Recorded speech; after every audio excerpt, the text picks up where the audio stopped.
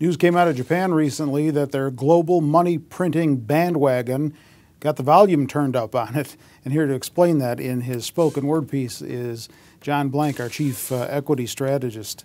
Um, basically, what happened is Bank of Japan in that announcement said they would buy long term Japanese government bonds, right? That's correct. And they also put out an announcement that they're going to buy REITs real estate and they're going to buy actual ETFs. They're going to buy equities. So, really extending what they already had in place as far as their version of quantitative easing was concerned. Correct. They're just going to put the weight on the long end and they're going to push hard to drive it down. So, what's the deal with this? Why are they doing this? They are doing this, Terry, because they've had 20 years solid straight of deflation. So the Japanese GDP in money terms is lower today than it was 20 years ago, even with the growth of GDP the deflation of the prices taking them lower. So they have to basically get the incentives out there for people to buy. Because when you have deflation, the incentive is to hold off. The house will be cheaper tomorrow, the car will be cheaper tomorrow, I'll wait and buy it. So they have to get that whole process turned around.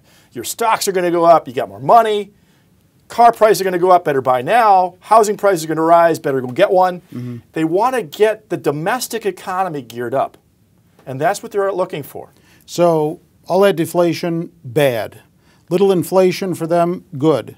Correct. And that's the trick here is little inflation is 2% inflation, which okay. is a target that's in Europe and the United States and really all over the world. Yeah. Because these central bankers talk to each other. They're all talking to each other, watching each other. And everybody likes this 2% inflation target. So they're going to go there too. Problem is, they're not there now and they're in deflation and they've been there 20 years. And how do they get just to there?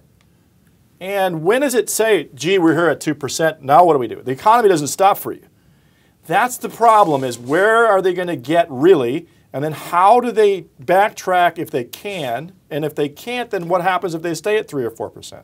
Or what if they get to 1% and that's as far as they get with this program?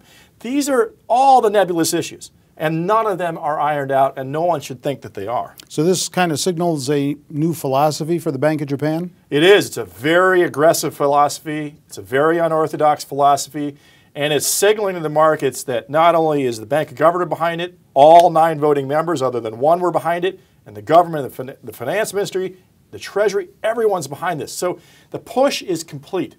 There's just a washing of the regime here completely washing this out of 20 years and saying, look, this is the new way. They call it Abenomics actually in Japan, and they're going to stick with this. So quantitative easing in Japan, different from quantitative easing here in the United States. Why and how? Very different, Terry, for one main reason is that the Japanese economy is fully employed. They have a 4.5% unemployment rate. We have an 8% unemployment. So our quantitative easing says we have resources – Let's use them by getting more stimulus out there. Here, they don't need to get resources to work. They're working. Everything's working. They want to push everything into prices. So what happens in the economy is either you drive the volumes or you drive the prices or some mixture. But when you have all your fully employed situations in place in your capital markets, in your labor markets, in your product markets, mm -hmm. then everything plays out in prices.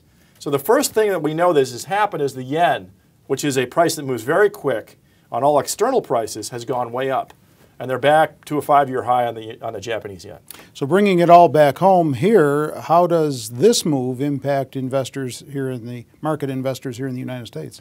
Very interesting, Terry. What it means is that there are going to be trillions of dollars sitting in Japanese banks, which are not all domiciled in Japan. And they are just getting, getting electronic debits of money, and they're trading it for bonds. So what people will do with a trillion dollars of electronic debit money in a banking context will have implications way beyond Japan because you will basically try to find a return. And it probably will play out mostly in the fixed income markets. But at the end of the day, they have said they're, they're buying ETFs and they have said they're buying REITs. So they aren't afraid of or even worried about getting real estate inflation and equity market inflation. They want all that too. Mm -hmm. But what we don't know is what happens outside these countries. But what should happen is the money will buy and drive down rates like the 10 year even further because people are going to buy a 2% 10 year with free money. Okay. So, bottom line positive, negative? Uh, I think it's positive until uh, until we find until out. Until it's not until right? it's not yeah. and that that I would that's the worry here is everybody's blessing it I'm blessing it all the news people have blessed it. The central bankers have blessed it all over the world. The problem with it is, is 2% target inflation is a beautiful idea, but trying to get there from 20 years to deflation has never been achieved. Okay, well, it's going to be interesting to see how this one plays out. Absolutely. Thanks, John. Breaking down quantitative easing in Japan with John Blank. I'm Terry Ruffalo.